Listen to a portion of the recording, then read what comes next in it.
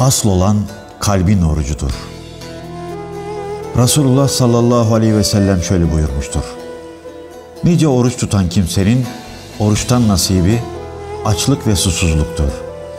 Nice gece ibadete kalkan kimsenin kalkmaktan nasibi ise sadece uykusuzluktur. Hz. Ali şöyle buyurdu.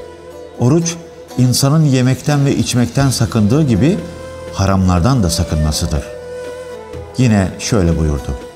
Nice oruç tutan kimsenin oruçtan elde ettiği ancak açlık ve susuzluktur. Nice gece namazı kılan kimsenin gece namazından elde ettiği ancak uykusuzluk ve yorgunluktur. Akıllıların uykusu ve iftarları ne güzeldir. Allah'ın sevgilisi buyurdu ki, her kim bir gün isteyerek müstehap oruç tutarsa, eğer kendisine yeryüzü dolusunca altın da verilse, ecrini kamil olarak elde etmiş olmaz. Kamil ecrini sadece hesap günü yani kıyamette elde eder. Yine Resulullah şöyle buyurdu.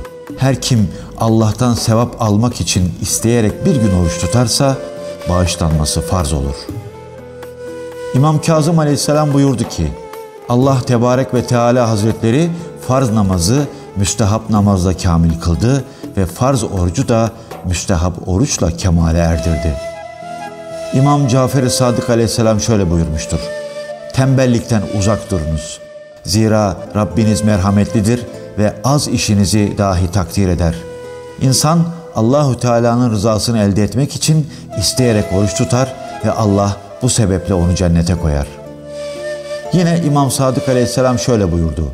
İnsan ilahi sevaba erişmek için bir gün isteyerek oruç tutar ve Allah bu sebeple onu cennete koyar.